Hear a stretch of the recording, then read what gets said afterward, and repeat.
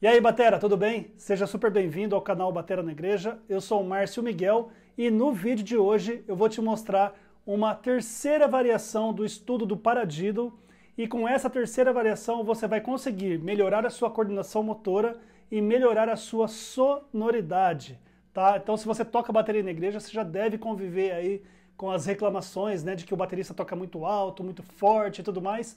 Então com esse exercício aqui, eu quero te mostrar como que você consegue, de uma maneira super musical, trabalhar os diferentes níveis de volume da sua baqueta.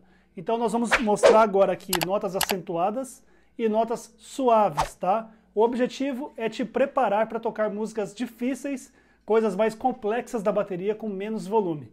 Beleza?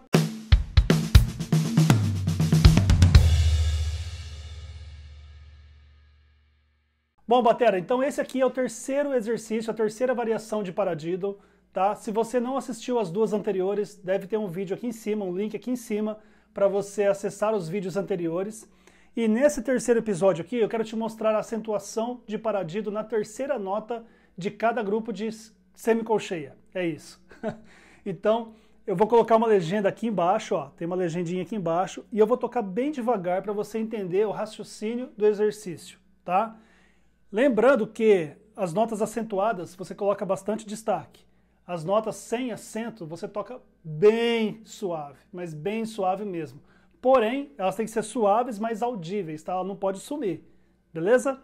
Então, ó, vou tocar só a mão para você ver aí como que faz a manipulação desse exercício. Vamos lá, bem devagar.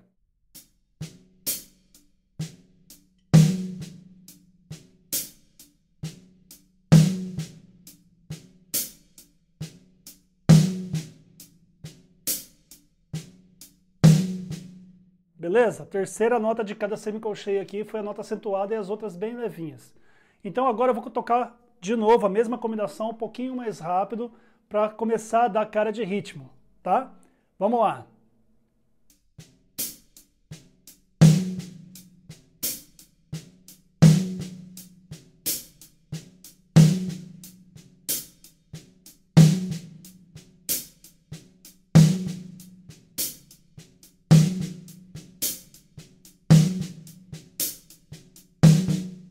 E agora eu vou encaixar o bumbo. Vou tocar o bumbo na primeira nota aí para você achar onde está o tempo. Beleza?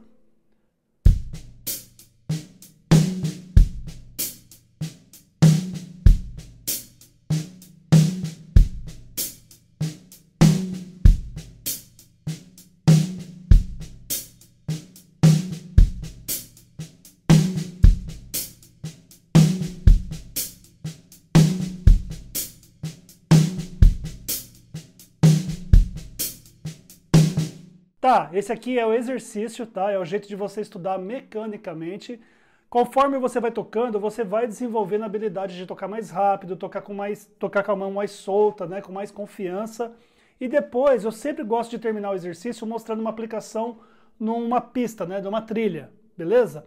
Então eu vou colocar uma trilha ali e vou tocar esse exercício aqui mais rápido, com musicalidade para você ver como que a gente aplica isso na música. Antes de tocar, eu só quero te convidar a visitar o nosso site bateranegreja.com.br. Lá nós temos materiais desenvolvidos especialmente para você, temos artigos, temos estudos de bateria, temos um curso online que foi desenvolvido pensando especialmente no baterista que toca na igreja.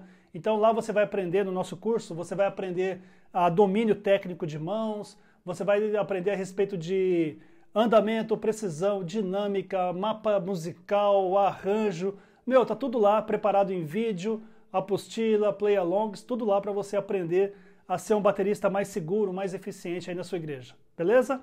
E quero também dedicar esse vídeo aqui ao nosso parceiro, a loja Drum Marks, que é uma loja especializada em artigos de bateria. Tá aqui o site também da Drum Marks. Visita o site da Drum Marks, dá uma força pra galera lá. Galera da Drum Marks, muito obrigado pelo apoio, pela confiança. Tamo junto sempre, tá bom?